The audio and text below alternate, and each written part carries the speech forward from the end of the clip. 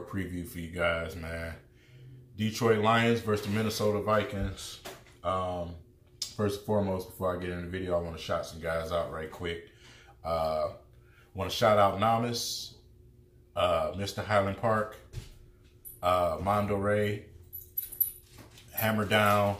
Uh, wanted to shout you guys out.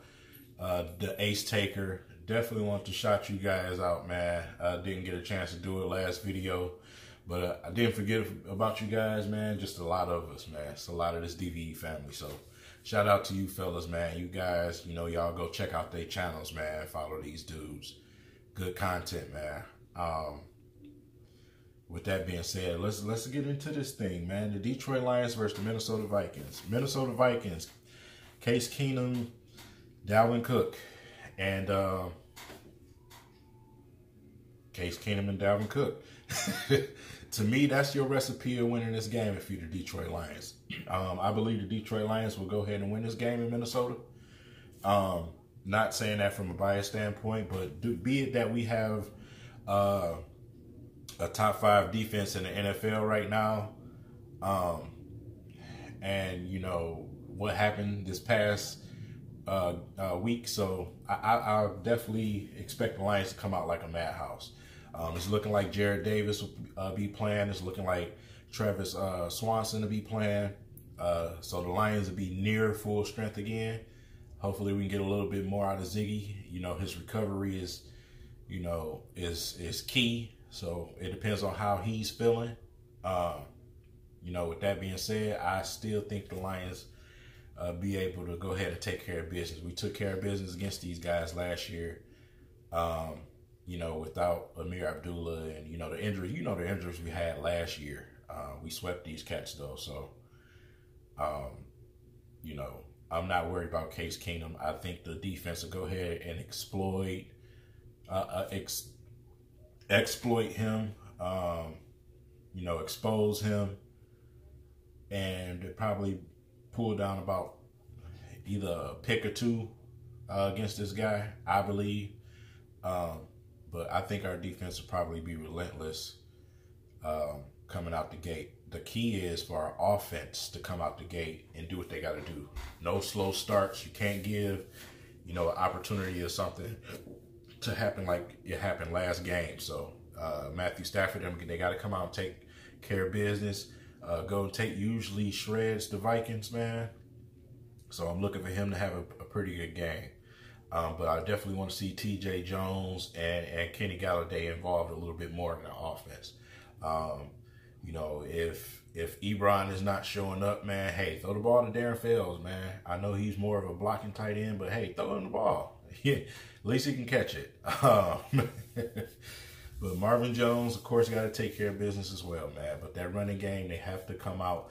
Our offensive line have to create holes for our run game uh, to be able to, you know, to flourish, man. They have to learn how to create those holes, man. They're still trying to learn and glue together as an offensive unit, man.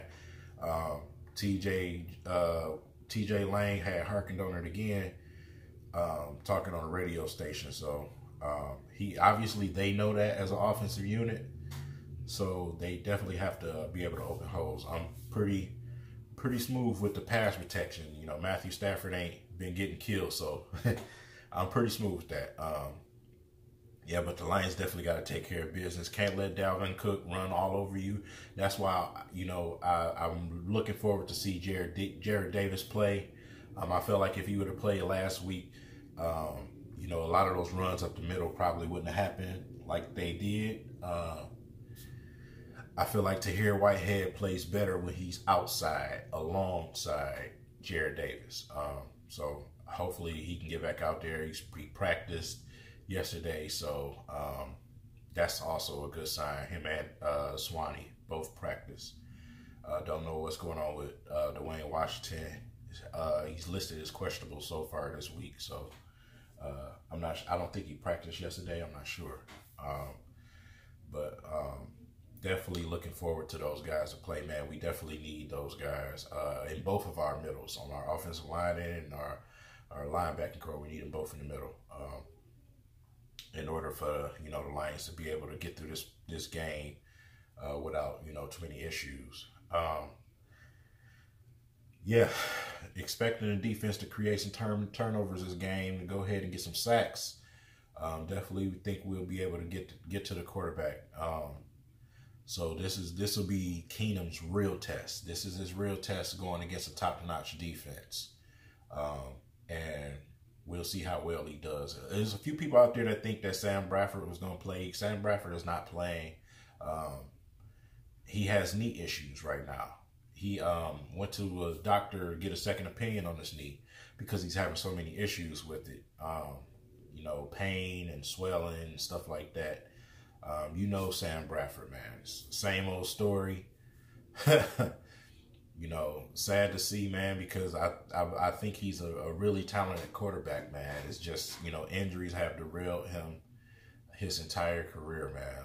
Um, but yeah, Sam Bradford is not playing uh, against the Lions this week, so you can get that out your thoughts. Um, still listed as doubtful to uh, today, so yeah don't expect him to come out and risk, you know, doing any more damage to his his knee. With that being said, um, our defensive line, man, they got to take care of business. They got to put that pressure on Keenum, um, rattle him, rattle the young fella, man, and, and cause some mistakes. And that, that'll be, you know, key for the Detroit Lions winning this game. Um, if you can't produce points, you know, that defense have to be able to do what they got to do which I believe Matthew Stafford come out of this game with probably three three to four touchdowns, to be honest. Um, and I'm not going off of last season. You know, every season is different, but I'm just going off this season. I truly believe that I always say week four is when teams start to click it. They start to click a little bit. You start to see a lot of the crazy, you know, uh, inconsistencies finally start to subside. So, um, I think the Lions will start to progress co- towards the team that we know we have um, starting this week. So definitely expect them to go in Minnesota and do their thing. Uh, I got the Lions probably putting up about 31 points against uh, the Minnesota Vikings. Um, with that being said, tonight, tonight is very important for Detroit Lions fans. You need to tune in tonight to Thursday night football. I'll definitely be watching. Watching. I wish the NFL wasn't so strict because I would do. You know, I I will stream it for you guys. I'll watch it with you. You know, so um. But unfortunately, I can't do that. So, um, definitely be watching tonight, man. We have two division uh, opponents going against each other tonight. We have the Bears against the Packers. Uh, I'm going with the Bears tonight. I think the Bears will go ahead and take care of business. If they're any bit of competitive as they've been, I think they're going to shred the Packers. Um, Matthew Stafford, I mean, not Matthew Stafford, oh God. Aaron Rodgers, uh, his protection is terrible. So if they can get in there and sack the quarterback, man, the Bears definitely have an opportunity because I, I believe that that their their duo at running back, man, I think they're probably gonna have a field day today. Um, the Packers are banged up and pretty, they're pretty old, if you ask me, on the defensive side of the ball in certain positions. Um, I don't know, man. I think the Bears gonna go ahead and take care of business tonight, man. Um, I just don't think the Packers have enough. But that's only if the Bears show up tonight, man. The Bears, you know, the Bears are the Bears. You never know what the hell you're gonna get with the Bears. But if it's anything close to this team that I've been you know, catching glimpses of, I think the Packers in trouble tonight. So, uh, because to me, Cincinnati should have won that game against the Packers. I don't know how the hell you lost, you lost that game, Cincinnati. Uh, I know your fan base is is pissed that you lost that game. There's no way you should have lost that fucking game uh, because the Packers are are to me putrid. so, uh, with that being said, let me know what you guys think, man. What's gonna happen this week? Um, you know, what do you see positive, negative? What do you, uh, who do you think is going to flourish for the Lions, man? Um, and also let me know about tonight's game, Thursday night football, Packers and um, Chicago Bears.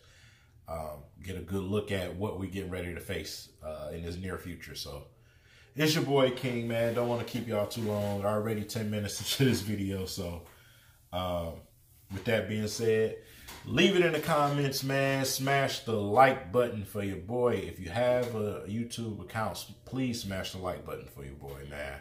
I'm trying to get um, this channel to pop out a little bit more, um, you know, before I decide to take it forward. So smash that like button for your boy, man. Um, and I'll definitely get back with you guys uh, this week before the game. So it's your boy King. I'll catch you guys later.